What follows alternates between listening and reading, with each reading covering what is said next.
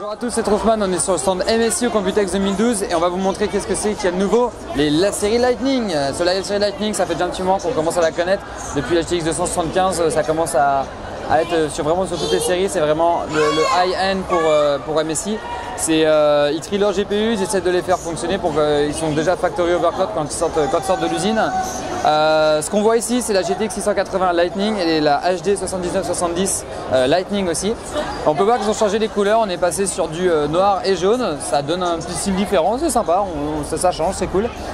sinon vous avez toujours les mêmes features, on a de quoi contrôler quelles, sont les, tensions sur, sur chacune de ces cartes. C'est principalement le, même, c'est du custom PCB, c'est-à-dire que c'est le, PCB est fait exprès par MSI pour vraiment ce type de carte là. On, a, on, s'en trouve avec un nombre de phases assez hallucinant, il me semble qu'on en a 10 dessus.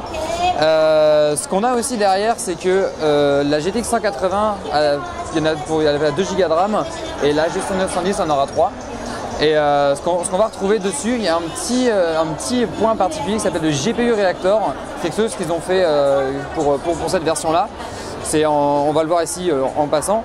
GPU Reactor, c'est cette petite chose-là qu'il y a ici.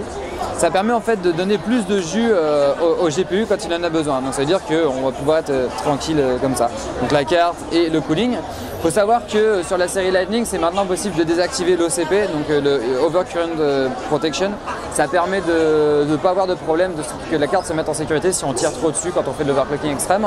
Et il y a aussi l'active fast switching switching qui en fait sélectionne le nombre de phases qu'on va utiliser. C'est comme sur les cartes mères. Quand on n'utilise pas vraiment le GPU, on va utiliser par exemple que deux phases.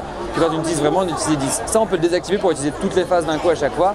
Donc c'est assez intéressant euh, que comme, comme euh, comme fonctionnalité sur les, sur les Lightning de chez MSI parce que justement quand on va faire de l'overclocking extrême bah, on va pouvoir désactiver tout ça et on va voir. Euh, on attend de voir si, euh, si ça va être utilisé pour la, pour la finale du, du MWAT cette année parce que vous savez que le MWAT 2012 euh, est là. On va voir ce que ça donne ces cartes là à la finale. Je ne sais pas encore laquelle va être mais on va regarder ce que ça, va faire. On s'en reprend bientôt sur d'autres vidéos et puis n'hésitez pas à liker Overclocking TV sur Facebook.